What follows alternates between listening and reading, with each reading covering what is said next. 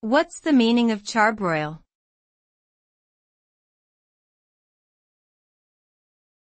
Charbroil.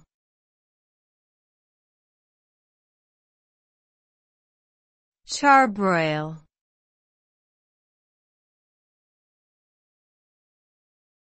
Charbroil.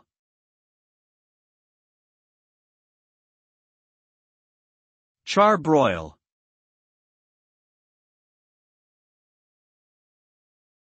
The term charbroil refers to a cooking method that involves grilling food items over an open flame or high heat source.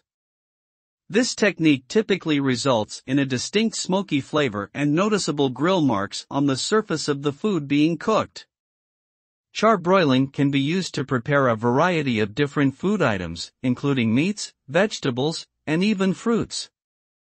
When done correctly, charbroiling can impart a tasty depth of flavor and texture to the food being cooked, making it a popular cooking method for outdoor barbecues, restaurants, and home kitchens alike.